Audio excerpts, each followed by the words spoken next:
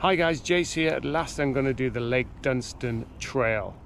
And we're starting here from the Heritage Precinct of Cromwell and it's about a 44 kilometer loop. It is actually about 55k long. It starts up at Smith's Way, which I started off today, and then back along into Cromwell.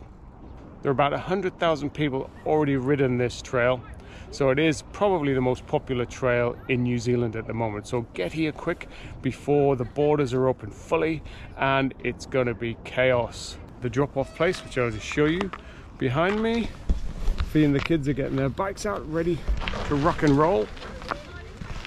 Okay, Bannockburn Bridge, 5.1k. Felton Road. Love that wine. 5.8k. Let's go. Look at this pretty stunning. 25k into it. Here we are at the Bannockburn Inlet. Just about to cross the bridge. Oh this is quite good. They've uh, made a little bridge alongside the road bridge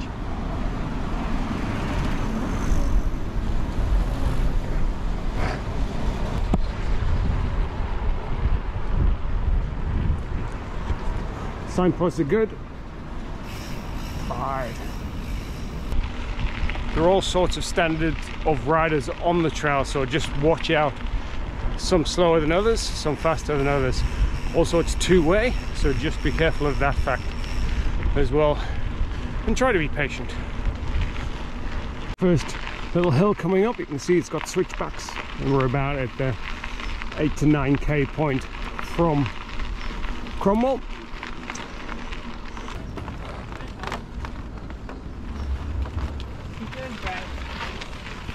Welcome to Carrick Winery. It's beautiful on a sunny day.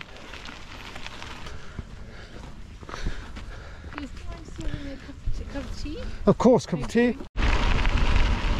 Ooh, it's like a motorway.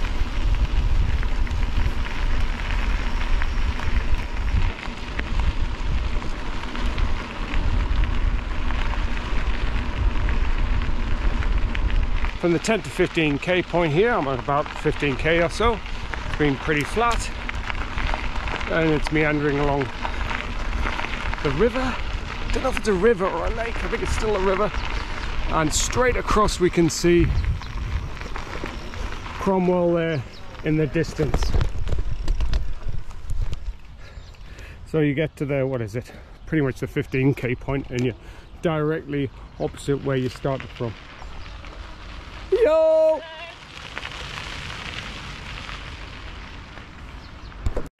Meeting of the two rivers. The Kawarau and the Clutha. And there's the Cromwell Heritage area just right across. Hello! Look at you! You're cool, man. So good. Well, looks like he's used to doing these see the old bridges in the distance. Awesome. You have to be careful because there's other people coming the opposite direction.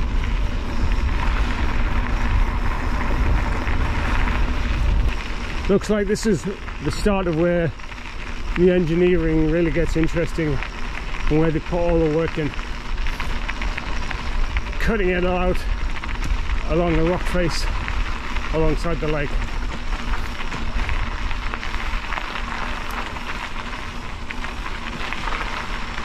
Hartley Bluff Bridge. Oh, so good.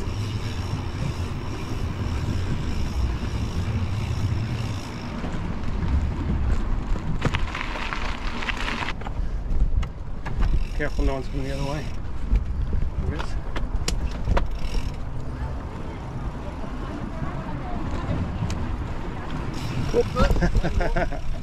Sorry. Are you on else? It's like a motorway. Uh, well, I, I'm the last of that group. There may still be the people there.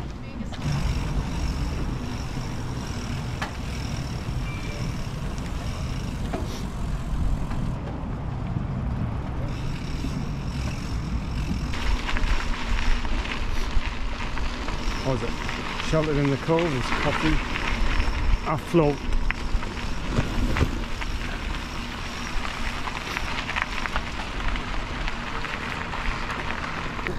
crazy busy, I think. So I think we'll probably just skip on. Don't rely on it, that's for sure.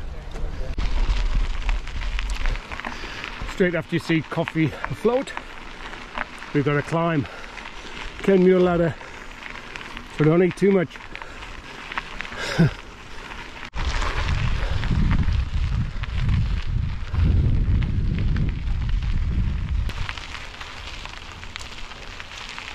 Bit of a climb. Not too bad though, not too steep.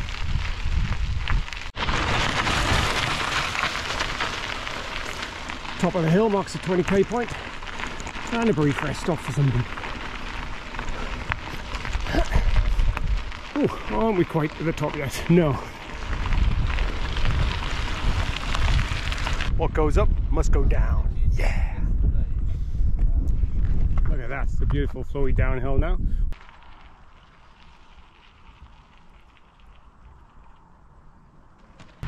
We're about the halfway point now, 22 kilometers in. Past the hill, we've gone down the other side and we're meandering along the lake about 50 meters above the lakeside.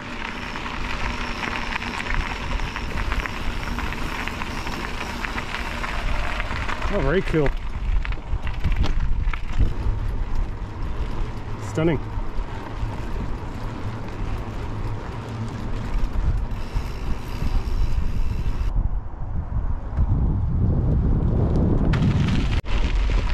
Falcon Gully over 24k point. A little bit of a hill.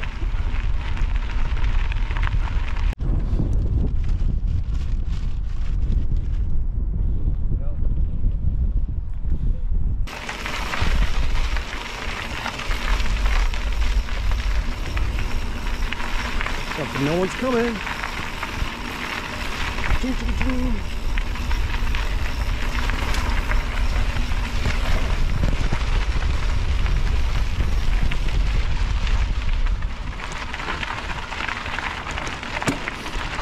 Bedrock Gully Bridge. You can understand why it's called that.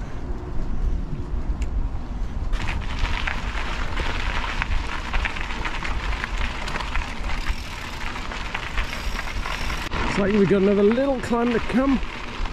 And we're at the ooh, was it? 27 to 28k point. Meanders are up there a couple of switchbacks.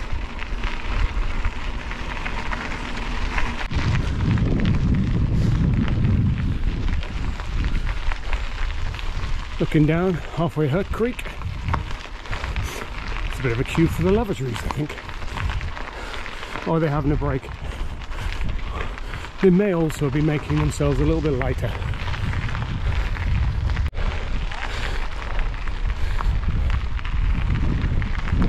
Here we are, it's a good viewpoint after that hill, 28k point. Go down a bit, as you can see, and then slopes up, and then I think probably back down. Probably the last hill. Not sure if it was the very last hill or not. We'll soon find out. I think this cycle trail you get definitely the most bang for your buck. You are right there, doesn't take long to get to, and straight away you're on interesting trails. And it's, you know, three, four hours, depending on how quick you want to do it. Probably even less if you want to do it quicker. But if you're meandering along, four hours. If you're not used to doing these kind of trails, I'd definitely do another one first just to get into the swing of things because there are a few tight turns and a bit of elevation to do. But it is a good one that is for sure. Coldstrew Flat. Woo. is it flat? don't know. The 20k the 29k mark anyway hasn't been anywhere near as busy after the hill from Coffee Afloat. I think it's spread out a little bit more along the trail or everyone stopped for a burger and a coffee. It's gone through Hyde Spur now. Nice downhill stretch till we get to the lakeside.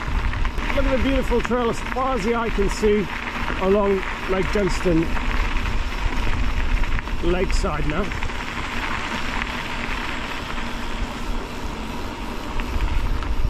By the lakeside now, the 31k point. And these trails are shared trails, so you may come across some walkers. Hey, and as I say that, we came across some walkers. Coming up to a narrow trail here, it says dismount when passing. So just be wary. Is anyone coming the other way?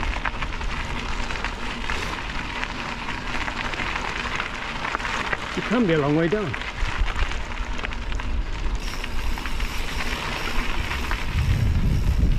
Oh.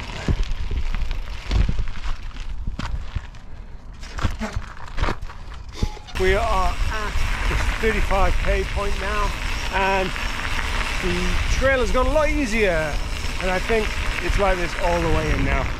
You may see just in the distance the dam.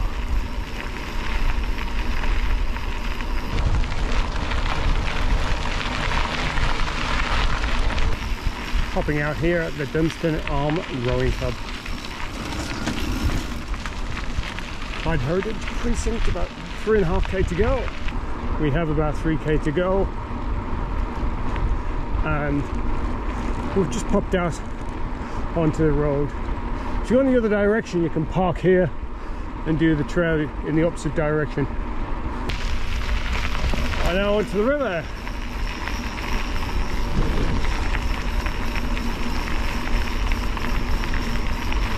Going over Clyde Bridge, back into Clyde.